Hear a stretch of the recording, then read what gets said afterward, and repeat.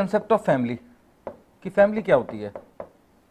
Concept of family और family के अंदर हमें क्या करना होता है? Types of family structure of family और functions of family functions and dysfunctions of family functions and dysfunctions of family concept types of family structure of family function of family syllabus में कहीं मेंशन नहीं है। Syllabus में forms and forms of family या types of family ऐसा कुछ दिया हुआ है, जो भी दिया हुआ है। बट लेकिन पेपर में क्वेश्चन इन्हीं डायमेंशन में से आता है, अगर फैमिली वर्ड मेंशन कर दिया तो वही आया हुआ पेपर में। जैसे एक बार structure of changing structure of family कर दिया चेंजिंग फ़ंक्शन ऑफ़ फैमिली कर दिया, ऐसे शॉर्ट नोट आ जाते हैं। सिंपल है। मज़े लेने वाला टॉपिक है ये। बाउंड्रीज फिक्स हैं, कुछ और पढ़ने की ज़रूरत नहीं है, जितना मैंने क्लास में कराना है, प्लस नोट्स। इससे एक कदम भी आपको बाहर जाने की ज़रूरत नहीं पड़ेगी। एक कदम भी, इस इस पर्टिकुलर टॉपिक में। पेपर टू में इसकी इंप्लीकेशन क्या आती है? Family in India family in India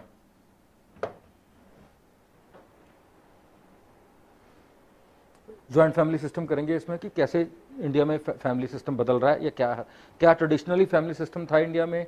अब क्या चेंजेस आ रही हैं फैमिली सिस्टम में? थोड़ा सा ज्वाइंट फैमिली का एनालिसिस करेंगे although joint family word is not mention in your syllabus लेकिन when we talk of family in India it is joint family system but how it is changing joint family system कैसे बदल रहा है है ना? Whether it is desirable और not थोड़ी सी डिस्कशन इस पर भी करेंगे कि क्या ज्वाइंट फैमिली डिजायरेबल है? या अनडिजायरेबल है? उसके बाद नेक्स्ट आपका आता है यहाँ पे household the concept of household या household dimension of family ये हम पार्ट टू वाले में करेंगे। ज्वाइंट फैमिली करने के बाद हाउस होल्ड का कंसेप्ट समझ आता है। तो कंसेप्ट पेपर वन में भी है हाउस होल्ड लेकिन कंसेप्ट में करूँगा यहाँ पे। ठीक? Household what is household how it is different from family and कैसे डिफरेंट टाइप्स के हाउस होल्ड होते हैं? है ना? वो हमें समझना है ये। एक शॉर्ट नोट आ सकता है, आया भी हुआ है। Direct question household dimension of family तो फ्री के नंबर है। फिर आपका आ गया पेपर वन के अंदर लाइनेज एंड डिसेंट ये किनशिप के टर्म्स हैं। ये किनशिप आ गया।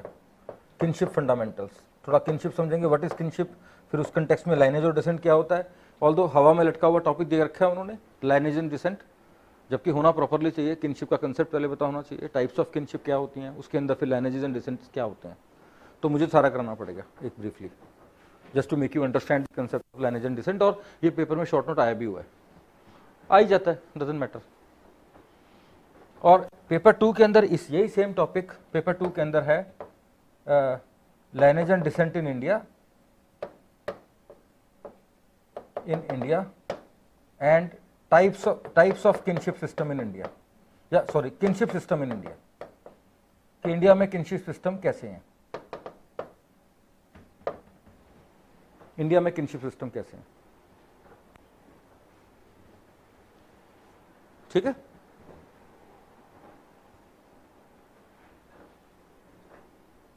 ठीक है बात? तो मैं क्या करूँगा? मैं थोड़ा सा आपको एडिशनली करूँगा हम मिलके काम करेंगे। मैं आपको किनशिप यहाँ पे पेपर वन में ऑल्सो ऑल दो किनशिप सिस्टम नहीं है, लेकिन मैं आपको पेपर वन के पॉइंट ऑफ़ व्यू से टाइप्स ऑफ़ किनशिप सिस्टम ये कराऊँगा थोड़ा सा समझाने के उसमें। पेपर टू के अंदर मैंने नोट्स में डाल रखा है kinship system in India north में क्या होता है साउथ में क्या ईस्ट में क्या वेस्ट में क्या। ये चैप्टर क्लास में खत्म होने से पहले आप असाइनमेंट बना लोगे वो। फैक्ट्स हैं वो, कि नॉर्थ में किनशिप सिस्टम के क्या फीचर्स हैं, वो समझा दूँगा मैं। लेकिन लिखवाऊँगा नहीं क्लास में। लिखोगे आप वहाँ से एज इट इज़ चाहे प्रिंट आउट लेके वहाँ से अपने नोट्स में भी लगा लोगे, तब भी चल जाएगा। फैक्चुअल है बिल्कुल ही। लेकिन वो जो फैक्चुअल जो चीज़ है किनशिप सिस्टम इन इंडिया वो आपको समझ समझ नहीं आ सकता अगर आप उसका, आप कंसेप्चुअल बेस ना समझो। है ना? That conceptual base of kinship has to be understood तभी उन जो लिखे हैं आपने लाइनें, उनका मतलब रियली में समझ आता है कि हाँ ये चल क्या रहा है आपके आसपास। किस जाल में फंस रहे हो आप?